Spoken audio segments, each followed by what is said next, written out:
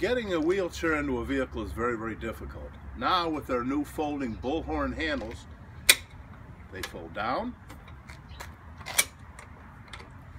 Then the chair is basically, these become runners now. So to load it in, you just tip it, goes up on the handles, it's moved in like this, and now the handles allow you as runners to go right along like this.